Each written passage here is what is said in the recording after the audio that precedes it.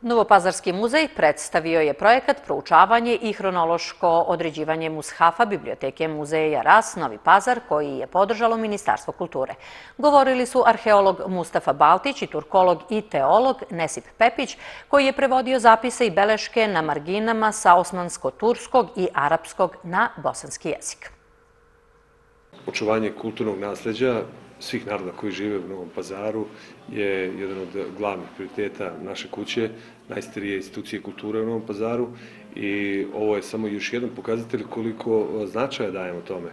Ovaj projekat je veoma važan, s obzirom da se radi o izuzetno starom i neprocenjive vrednosti mushafu iz 16. vijeka i drago nam je da smo konačno to i dokazali i e, smatram da, je, da će ovo biti možda polazna tačka za mlade istraživače koji ima u Novom pazaru, talentovanih, mladih, pametnih ljudi, da će ovo možda biti e, tačka inspiracije i, i, i motivacije da krenu da istražuju bogato kulturno nasljeđe e, koje imamo u Novom pazaru.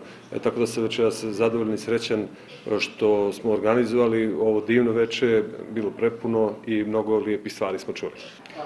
Konkretan Musaf u kom dakle Kuran koji pokušavamo da obradimo i da proučimo, je bio interesantan. Na interesantan način je dospeo u, u muzej, na interesantan način je sve ono što je vezano za njega, a priča koja je vezana za njega e, nas je vraćala u 15. stoljeće, što bi nas onda učinilo da e, se konkretni Musaf najstariji e, na ovim prostorima. Međutim, da bismo ga sačuvali kako je bio, kako je bio prilično oštećen, da bismo ga sačuvali, mi smo započeli projekat njegovog datovanja.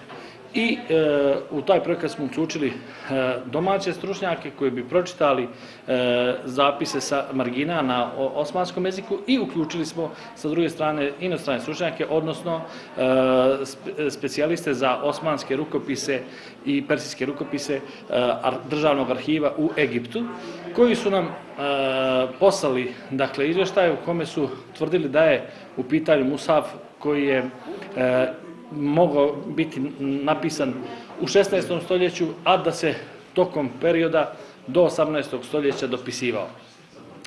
U pitanju Kuran koji je nekoliko puta prepravljan i koji je na posebno interesantan način ovdje došao. Ono što je nama posebno sada važno i zbog čega smo uopšte i započeli čitavu priču jeste da taj mushaf, konkretno taj mushaf, zaštitimo, da ga konzerviramo od dalje propada jer sad za sad je zaista poprilično, eh, da kažem, eh, oštećen.